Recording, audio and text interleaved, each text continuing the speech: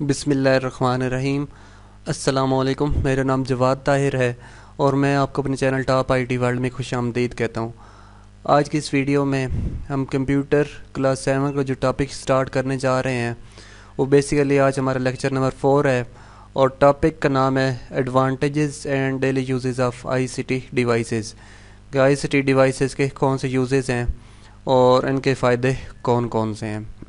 तो अगर आपने अभी तक अपनी बुक्स ओपन नहीं की, नेशनल बुक फाउंडेशन वाले तो आप ओपन कर लें। आज का पेज नंबर थर्टीन है, यहाँ से हम पढ़ रहे हैं। तो चलिए स्टार्ट करते हैं।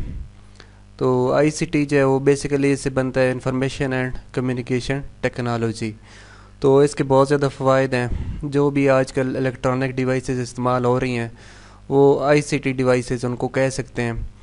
तो जिस तरह यहाँ पर लिखा I C T has great impact in our daily lifes इसका हमारी ज़िंदगी पर बहुत ज़्यादा असर है। इम्पैक्ट का मतलब असर।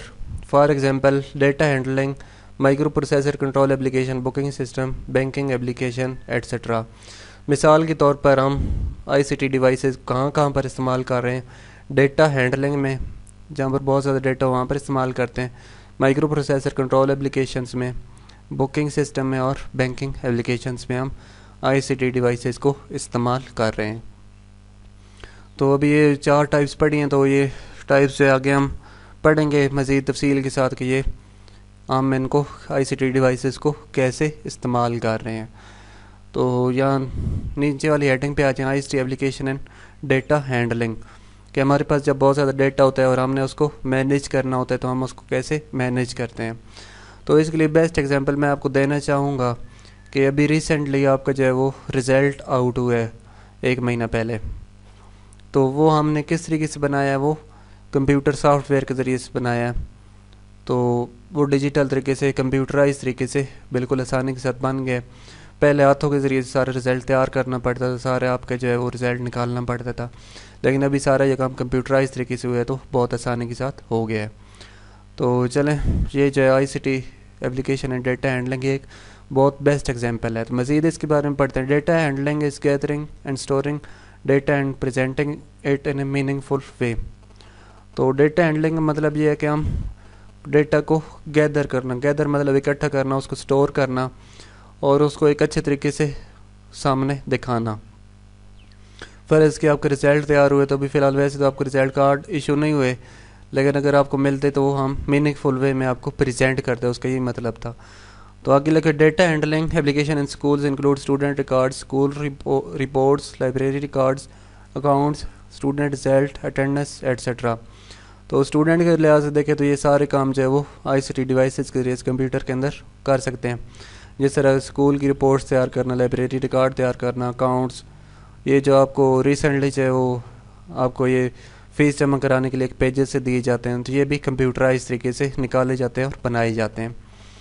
Commonly used ICT devices for data handling in school और कंप्यूटर तो स्कूलों में जो है वो डेटा हैंडलिंग के लिए कौन सी डिवाइस इस्तेमाल होते हैं? कंप्यूटर्स हैं network devices printer biometric scanners multimedia projector and smart boards etcetera तो ये चीज़ें जो है वो स्कूलों में इस्तेमाल हो रही हैं। तो कौन सी चीज़ स्कूलों में इस्तेमाल हो रही हैं?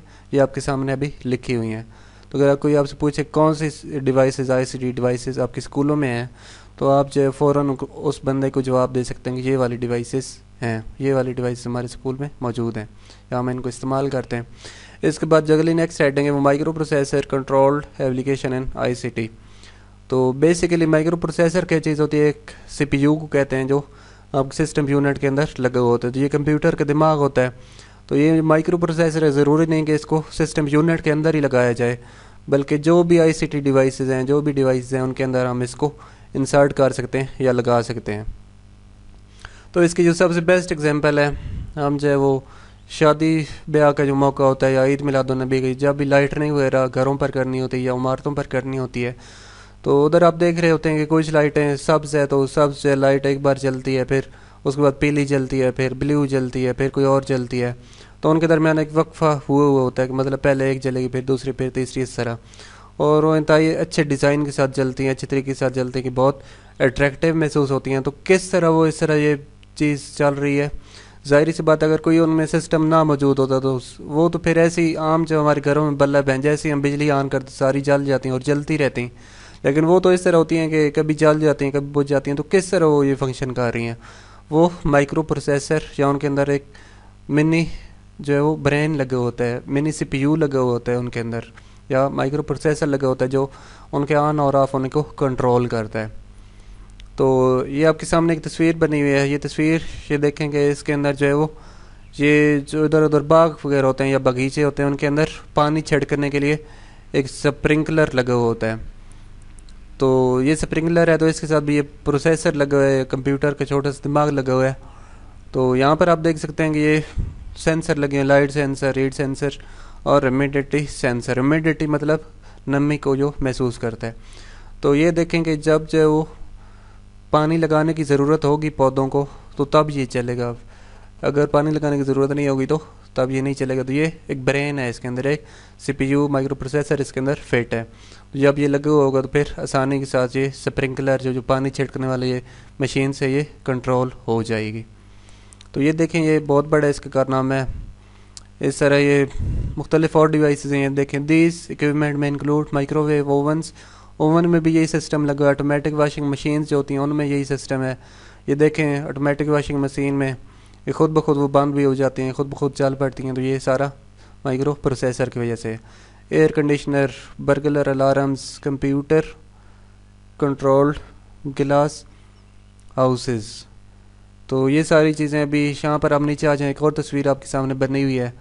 तो ये में भी आपको समझ ना आ रही है पता नहीं क्या चीज़ है। तो ये आपको बताते चलूँगी, यहाँ पर जो है वो आप, एक डिवाइस लगी हुई है। जैसे इस डिवाइस पर बंदा हाथ रखेगा तो पता चल जाएगा कि ये दरवाज़ा लगा हुआ है, ये डोर है। तो आप डोर खोलना चाहते हैं तो जैसे आप इधर हाथ रखेंगे तो उसको सेंस हो जाएगा कि ये कोई बंदा दरवाज़ा खोलना चाहता है तो वो ओपन तो ये दरवाज़ा ओपन हो जाएगा। या हो सकता है कि ये भी है कि बाज़ अवत अगर ज़्यादा जो है वो एडवांस सिस्टम है तो आप इस दरवाजे के करीब भी जाएँ तो ये दरवाज़ा फ़ौर का फ़ौर खुल जाएगा। ये सारा किस वजह से हो रहा है कि आई सी टी डिवाइस की वजह से हो रहा है। तो उसके बाद अगले पेज पर हम चलते हैं, page number fourteen I T application in booking system तो आपने जो है वो रेलवे का टिकट बुक बुक कराना हो, या पाकिस्तान एयरलाइन, जो पी आई ए जहाज़ों वाला, ये जो महकमा है इसका आपने टिकट बुक कराना हो, या किसी होटल में रूम बुक कराना हो, या किसी मूवी का टिकट, या शॉपिंग वगैरह तो ये सारे काम भी आई सी टी एप्लीकेशन के ज़रिए से हो सकते हैं। आपके सामने ये देखें, एक जो है वो तस्वीर, ये जो बनी है आपके सामने, ये वाली एक वेबसाइट है। ये किसकी वेबसाइट है? पाकिस्तान इंटरनेशनल एयरलाइन की वेबसाइट है पी आई ए के, जहाज़ों वाले महकमे की वेबसाइट है। तो आप जो है वो यहाँ से अपना टिकट जो है हासिल कर सकते हैं। तो यहाँ पर देखेंगे, सबसे पहले आपने सिलेक्ट योर डेस्टिनेशन आप कहाँ पर जाना चाहते हैं, किस डेट को जाना चाहते हैं, और आपके साथ जो है वो कितने लोग मौजूद हैं? बच्चे वगैरह कितने, जितने भी मौजूद हैं। तो आप अगर ये इंटर करेंगे, ये पुट करके इंटर करेंगे तो आपके सामने आपकी टिकट इंटरनेट के ज़रिए से बुक हो जाएँगे। आपको पी आई ए के दफ्तर में जाने की भी ज़रूरत नहीं है। इस तरह ये पाकिस्तान रेलवे है। तो पाकिस्तान रेलवे में आप देखेंगे, यहाँ पर जो है वो सबसे पहले आप जो अपना अकाउंट रजिस्टर करते हैं, उसके बाद ये सिलेक्ट जर्नी और ये यहाँ पर ये करते हैं, उसके बाद तो आपको टिकट जो है वो पाकिस्तान रेलवे की तरफ़ से भी साइन हो जाता है। इस तरह यहाँ पर होटल बुक कराना है या मूवीज़ वगैरह देखनी है तो उसके लिए जो है वो आपने कोई शो बुक करना है तो वो भी आप इंटरनेट के ज़रिए से उनकी वेबसाइट खोल के कर सकते हैं ये सारा काम।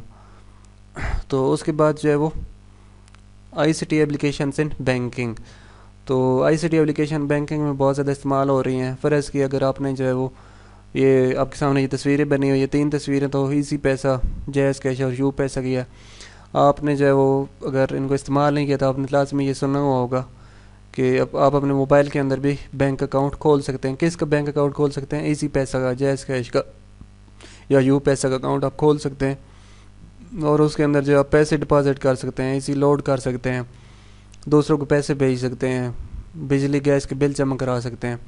इस तरह के बहुत ज़्यादा काम हम कर सकते हैं। और ये आपके सामने एक एटीएम बना हुआ है। एटीएम ज़ाहिर सी बात अगर आपने इस्तेमाल नहीं किया तो आपके वालदेन या आपके अज़ीज़ वकारब ने इस्तेमाल किया होगा। तो आप एटीएम के ज़रिए से भी बजाय आप बैंक में जाते उधर से लाइनों में लगते पैसे लेते तो आप एटीएम मशीन के ज़रिए से भी, मशीन को कहते हैं, मुझे इतने दस हज़ार निकाल के दें तो आपके अकाउंट में से पैसे निकाल के दे देती है। तो ये सारा जो है, वो किस वजह से पॉसिबल हुआ है आई सी टी डिवाइस की वजह से? इसके अलावा ये N N B P national national bank की जो है वो नेशनल बैंक ऑफ़ पाकिस्तान की वेबसाइट है। तो यहाँ पर भी सारा काम आप कर सकते हैं। तो आज के लेक्चर जो है हम यहाँ पर एंड कर सक, करते हैं। आज के इस लेक्चर में हमने पढ़ा था कि आई जो है वो डिवाइसेस इनकी कौन सी एप्लीकेशन है या इनके कौन से यूजेस हैं या इनके कौन से एडवांटेजेस हैं। उम्मीद है कि आपको आज का लेक्चर समझ आ चुका होगा अगर अभी तक समझ नहीं आई, कोई बात पूछनी है तो नीचे कमेंट में आप रिप्लाई कर दें या मुझे डायरेक्टली मैसेज कर दें। वीडियो के एंड पे मैं कहूँगा कि मेरे चैनल टॉप आईटी वर्ल्ड को सब्सक्राइब कर दें और बेल आइकन पर प्रेस कर दें ताकि आपको नई आने वाली वीडियोज़ की अपडेट मिल सके और जो नया lecture lecture number five six आएगा तो उसकी अपडेट आपको मिल सके। तो मिलते हैं अगले लेक्चर के साथ। गुड बाय एंड अल्लाह हाफिज़